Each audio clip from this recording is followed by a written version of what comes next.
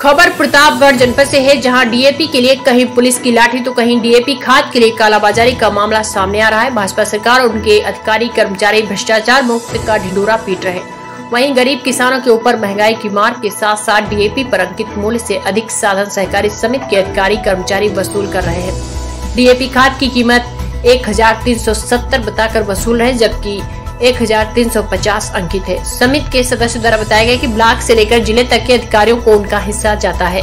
भाजपा की सरकार बड़े बड़े दावे करती है। क्षेत्रीय विधायक और सांसद केवल मंच पर बड़ी बड़ी बात करेंगे, लेकिन गरीब किसानों की पुकार, महँगाई की इस तरह से मार की सुनवाई नहीं हो रही। ज़िले के जिलाधिकारी भी अनजान बने हुए उनके नाक के नीचे एडीओ, कोऑपरेटिव सहित समिति के सचिव और कर्मचारी डीएपी खाद की बिक्री में अवैध वसूली कर रहे हैं।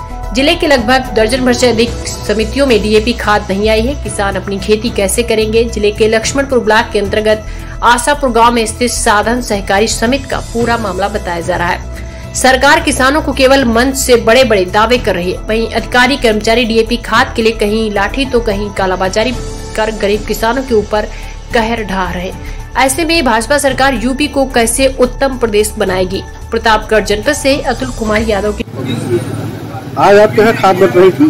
जी। क्या हुआ उसमें? हमारे यहाँ खाद कल ही बटना था। हाँ। कल नहीं बटी? कल हमारे अध्यक्ष महोदय आए थे। अध्यक्ष कौन है? संतोष सिंह। कौन सी समिति है आपकी? आशापुर। हाँ तब क्या हुआ? आशापुर साधन सहकारी समिति। कल इनकी मशीन नहीं चल पाई जिसकी वजह से खाद का वितरण नहीं हो पाया। हाँ, ये हुआ कि आज सुबह बटेगी। हाँ, कल सुबह बटेगी खाद हाँ, लेकिन आज जो है फोर्स को लेकर के सचिव महोदय आए हाँ, लगभग ग्यारह साढ़े ग्यारह बजे से हाँ, का वितरण शुरू हुआ।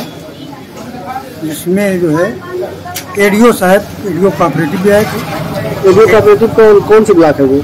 लक्ष्मणपुर। अच्छा। एडीओ कोऑपरेटिव आए थे। एडीओ कोऑपरेटिव अपने हाथ से जो है लोगों का आधार ले रहे थे नाम लिख रहे थे। और उनकी मौजूदगी में ही खाद का वितरण भी हुआ। किस रेट से बिकी है खाद? खाद जो है तेरह सौ सत्तर में खाद का रेट तो तेरह सौ पचास है आप समिति के सदस्य भी हैं तो आपने विरोध नहीं किया? नहीं देखिए हम तो विरोध कई मरतबे कर चुके हैं। हाँ, एक नहीं जब राजेश बैस भी थे तब भी हमने विरोध किया था। हम्म, तो ये हुआ कि हम लोगों को कोई ढंग से वेतन नहीं मिलता। हम्म, और इसमें जो है हमका जो है ऊपर से खर्च भी देना पड़ता है। अ, ब्याज से ले करके और पीसीएफ तक हमको देना पड़ता है। चलाना देना पड़ता है ट्रक वालों को तमाम प्रकार के खर्च आते हैं। इसलिए हम एडियो पंचायत से आपने इसका विरोध नहीं किया? एडीओ पंचायत वहाँ मौजूद थे तो हम क्या विरोध करें? हम क्या विरोध करें? जब एडीओ पंचायत स्वयं खाद के वितरण के समय मौजूद है तो हम क्यों विरोध करें? एडियो पंचायत की मौजूदगी में तेरह सौ सत्तर रूपए खाद बिल्कुल बैठी है। उस समय एडीओ उस समय कम से कम सैकड़ों बोरी बैठ चुकी थी जब एडीओ कोऑपरेटिव थे। क्या कितना खाद एक बोरी से दो बोरी का रेट लगाए थे। क्या नाम है आपका? हरकेश नारायण मिश्र। कहाँ के रहने वाले हैं? तारापुर के रहने वाले हैं। कोऑपरेटिव के बहुत पुराने मेंबर हैं बहुत पुराने सदस्य भी अभी मौजूदा समय में भी सदस्य हैं? हाँ इसमें भी सदस्य हैं। हम